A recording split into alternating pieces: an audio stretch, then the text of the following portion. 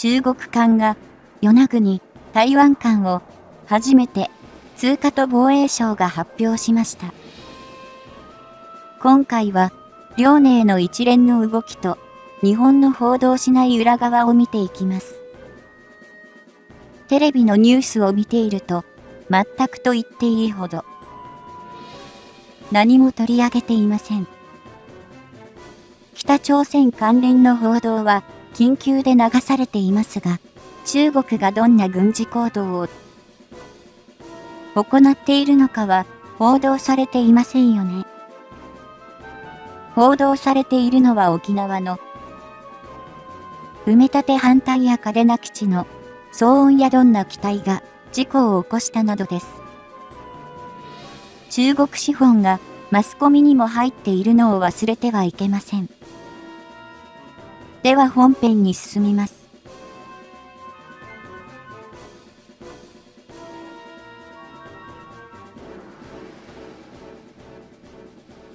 2021年4月には、中国海軍の航空母艦、遼寧や、これに随伴する。最新鋭の055型南小級駆逐艦らの計6隻の空母打撃群が日本の近海を航行したことが防衛省から明かされ、大きくその動向が報じられた。防衛省によれば、これら遼寧らの6隻の空母打撃群は、まず3日に、長崎県の男女群島の沖合の海域を航行していたとされ、その後26日に、沖縄県の宮古島の沖合の通過が確認されたという。この時には、遼寧から早期警戒用のヘリコプターが発艦し、尖閣諸島近海の海域を飛行したことから、航空自衛隊では、スクランブル発進を行って、その動向を追尾したものだと発表された。これらの一連の中国海軍の行動には、日本への領海侵犯等の行為は、認められなかったため、それ以上の対応に発展してはいないが、日本やアメリカ、そして台湾への意図を持った行動だと推察されている。遼寧は中国海軍自体が練習用の艦艇だとは位置づけているものの、その後の国産化航空母艦の3トンの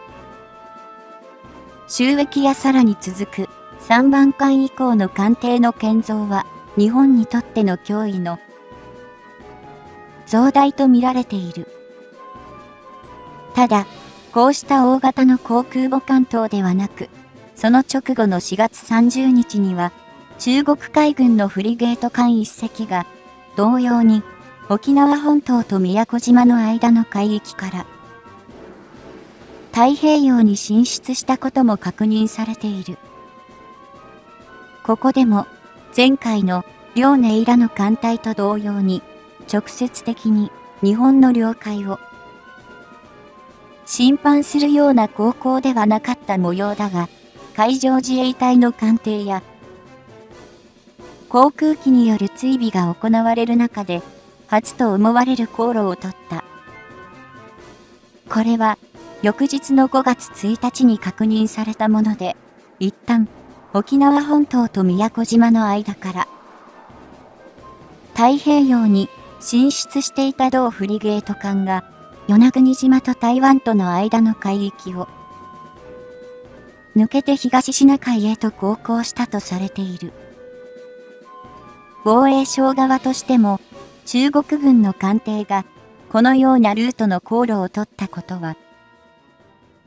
過去に記録がないとされており、中国海軍が、そのような航路を選択した。意図がどこにあるのかについて波紋を呼んでいる。日本に対しては、尖閣諸島方面への牽制であることが筆頭に考えられるが、遼寧の艦隊同様に台湾威圧に向けた新たな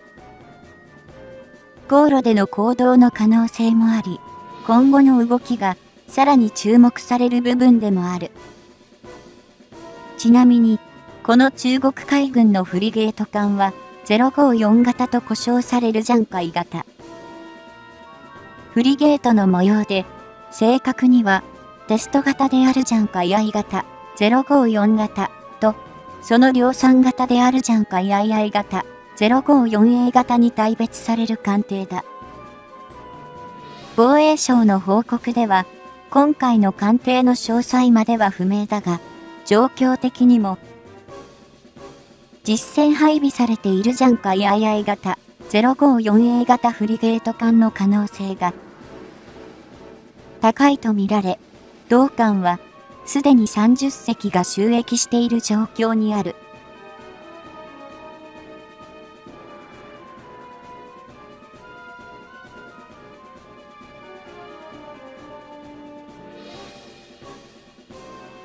ジャンカイ II 型 054A 型フリゲートは、満載排水量4050トン、全長134メートル、全幅15メートルの艦隊で、最大速力27ノットで 76mm 単装砲1機と VLS32 セルを重兵装として搭載している。海上自衛隊でハモが味型護衛艦にサイズ的には近く、同艦は満載排水量5500トン、全長133メートル、全幅16.3メートル、最大速力30ノットで5インチ単装砲1機と VLS16 セルという仕様である。コノモが味型護衛艦との比較でも明らかなようにジャンカイ II 型。054A 型フリゲートは、その艦隊の大きさに比して VLS を32セル搭載するなど、対空兵装の充実が図られており、艦隊防空を意識した艦だろう。ジャン、海 II 型 054A 型フリゲートが搭載する VLS は、ロシアが輸出様に開発したシュチーリ -1 をベースに中国が国産化したと。考えられている。HQ-16 であり、建造数の多さからもその有用性が忍ばれる。こうした兵装の完成には、フランスの現タレス社の製品を中国でコピーした。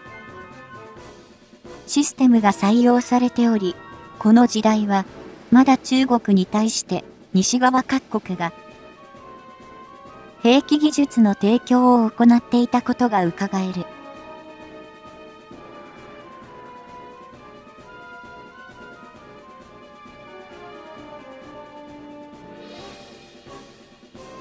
同様に、戦術処理システムには、イタリアの IPN10 のコピー品とめされる。中国製の HN900 が使用されており、こうした西側からの技術の習得が、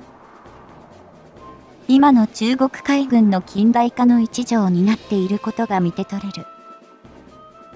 その後、急速な経済発展とともに、軍拡を進めた中国を西側各国は警戒し、今現在では、こうした直接的な動きは皆無となってはいるが、民生品をはじめ、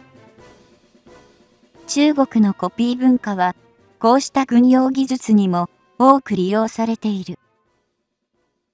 またジャンカ II 型 054A 型フリゲートは、対潜水艦用に YU7 単魚雷の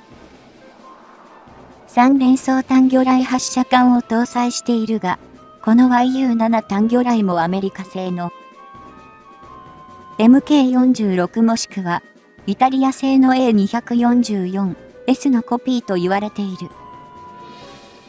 その意味で、ハジャン海 II 型 054A 型フリゲートの並走及び完成システムは、そのほとんどが西側の技術で構成されているとも言え、権利意識の薄い中国を甘く見た結果が、今の苦境に直結しているとも言えるだろう。日本を含め台湾と断交し、中国を正式な国家と認めて、こうした技術の供与を行ったことは大きな判断ミスだったと、もっと積極的に認め、反省すべき事例ではないだろうか。